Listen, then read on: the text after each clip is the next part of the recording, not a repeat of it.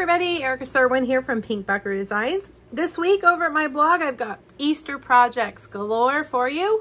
I've been using the super cute Easter Friends stamp set from the, let's see if I can remember the name, the official name, January to June 2022 spring Stampin' Up! mini catalog. anyway, it's available right now. It's so cute. Look at those images. I'm going to show you how to make an Easter basket. Um, I found, you know, these, you find them all over the place. These truffle eggs, delicious. Um, we're going to actually use the pretty pillow box die right here. This was in the last mini catalog, the holiday catalog, but it's still available online. And I'm going to show you how to make this little basket um, using this die. I've done a lot of the die cutting ahead of time um, just to save us some time on the video. Now, the first thing you're going to want to do is get thick white cardstock. That's going to make your project um, heavy duty. It can hold the candy. It's not going to, you know, collapse. You want to cut out two of these, but all you really need is this top section right here. So I went ahead and cut the full uh, piece just so you could see which piece I'm cutting off. But, you know, if you cut your cardstock the right size, then you only you will only um, you won't waste a lot of cardstock. Now, I also have done it with this beautiful Tulip Fields Designer Series paper. Um, again, this is from the spring catalog. And I'm going to adhere it, adhere both of them to the white, the white pieces. And the reason why we don't just, you know, only cut the DSP and use that is because you want your box to be sturdy. You want your basket to be sturdy. So by putting these two pieces together, you're making um, the whole piece really sturdy. So we're going to glue those together like that with Tombow. You could also use your adhesive sheets when you cut these out. Um, put an adhesive sheet behind it. That way then it's just a sticker and you can just um, lay it down. All right, now for the box part, let's bring the Simply Scored in. You're going to need a piece of thick white that is three and a half by ten and a half. On the long side, you want to cut it at, or score it, excuse me, score it at three and a half, five, eight and a half, and 10. And then turn it and score it at two. We're making a really simple box to put on uh, the inside. We're going to sandwich it in between those two pieces that we just made. Now, down here, um, you've got a, a wider section and a, a more narrow section. The narrow section is the bottom of your box. At the end of that narrow section, you want to cut off this little rectangle right here. Okay? And then you're just going to snip all of those lines. Now, normally when I make a box, I cut the corners off of all the flaps, but this box isn't going to be seen, so we don't really need to worry about it being perfect. Um, so I'm not going to worry too much about that. I'm going to burnish all those lines with my bone folder. Probably should have done that before I cut it, but that's okay. You can do it either way. All right. Now, I'm going to use, let's see, I'm just going to use my Stampin' Seal since that's what I have. Um, I'm going to put a little bit of Stampin' Seal right there. And I'm going to fold this over like that, end over end. Okay, now just fold in those bottom tabs. And we're going to put a little bit of adhesive here and here. Fold that into those squares. Now, I probably, if I'm going to make these to give these out, I'm not going to use Stampin' Seal. I would use Stampin' Seal Plus or uh, even Tombow or Tear and Tape. But since this is what I have sitting here, that's what we're going to use. Okay, so there's your box. Really, I mean, simple. Now I want to put this on here. So I'm going to use Tombow again because I, I just want to make sure that it stays flush with the box. All right. And we're going to match that bottom edge right there. Press that in. Kind of look at the back to make sure that it's centered. Well, we've come off the edge. Let's do that again. There we go. Okay, now we'll do this side.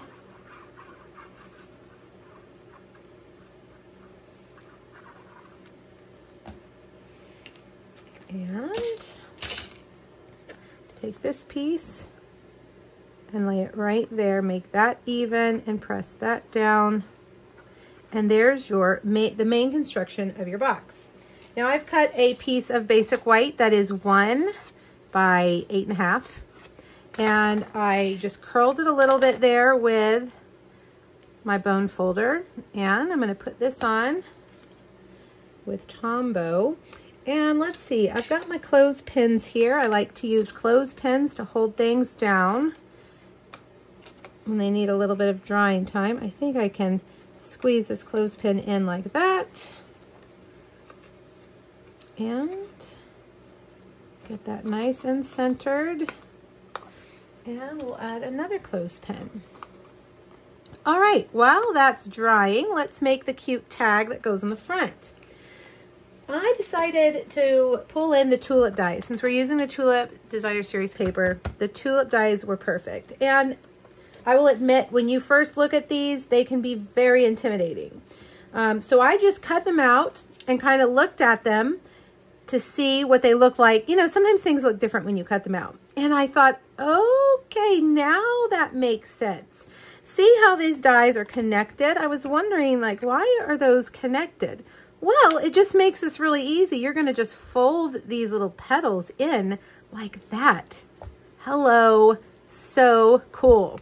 Now, um, I've got this just individual petal. So I'm going to put that in with a dimensional. Okay. On the inside like that. And then I'm going to take a little bit of Tombow and glue that to the front. Again, I'm going to use one of my little clothespins to hold it. So put a little bit of glue there and a little bit of glue there. Whoops, I put too much. I always put too much. All right, now grab your clothespin and just squish it like that. All right, so we've got that one. There's also this one that's really pretty. Um, you just really only need to put that on with a dimensional, I think. I, I'm sure there's lots of different ways to do these tulips, but just in playing with them for the first time, this is what I came up with. Let's get that on there a little bit better. You can also kind of vary the colors, add ink to your cardstock to make it have variations. This one was really pretty too. I liked this one. Fold that in and look at that. Let's put that one in the middle that dimensional. I just was really uh, pleasantly surprised with this, the design of these dies. They looked complicated, but then really they are not complicated at all. Stampin' Up! has made it really easy because the, you know, the flowers are connected to each other. All right, one more clothespin. And now let's do our adorable little duck. He's going to be in Memento Black on thick white. And I'm going to color him with Daffodil Delight Stampin' Blend, but let me grab my heat tool. I like to heat set anything that I'm going to color with a yellow Stampin' Blend.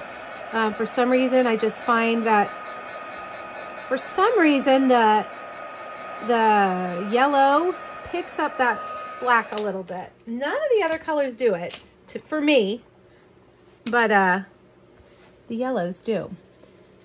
So if you have that problem, um, just grab your heat, heat tool and just kind of set that ink, dries it really good.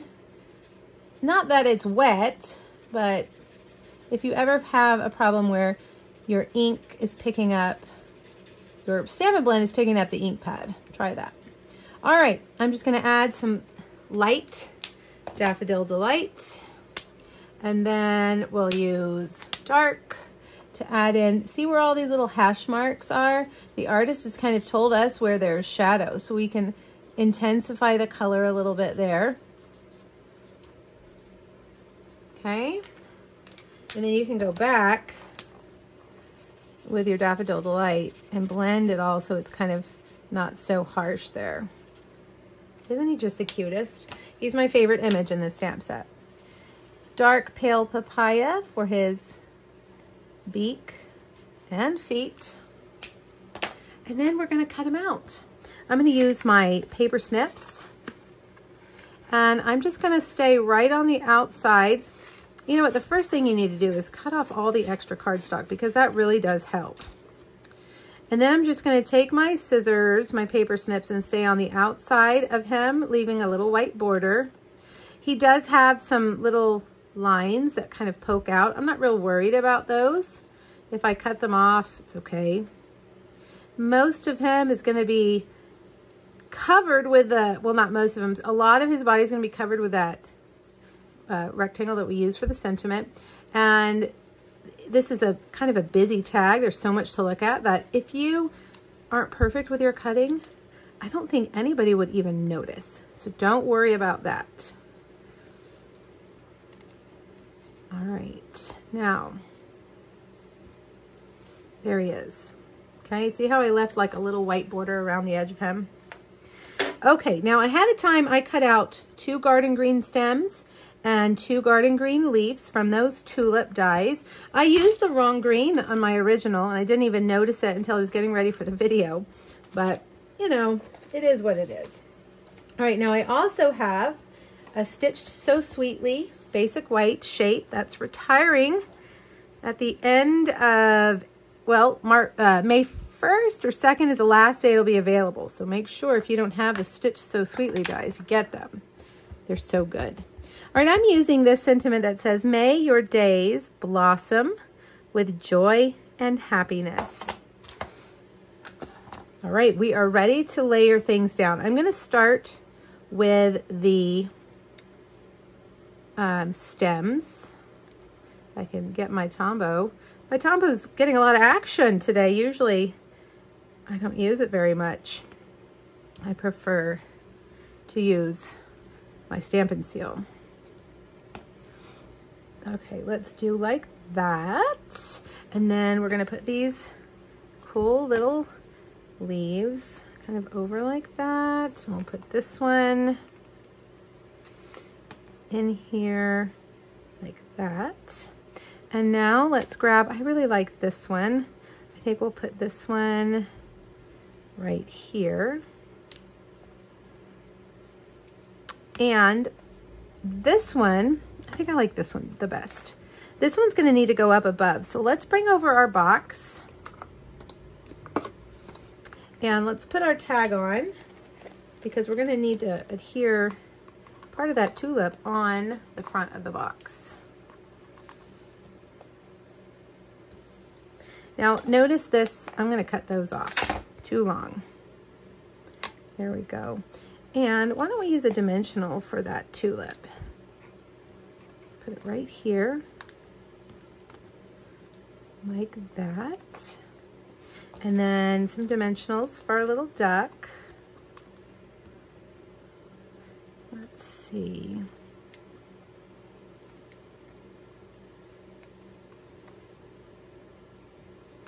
Let's put his head back like that. And then we'll put some dimensionals on the back of our sentiment. This is the stitched rectangle, by the way, if I didn't mention that, the stitched rectangle dies. And then last but not least, we've got to add our ribbon. And I am using this window pane ribbon. It's really fantastic ribbon. And we'll just tie a little bow, cut the end off at an angle, and grab a glue dot and put that right there. And there you have it.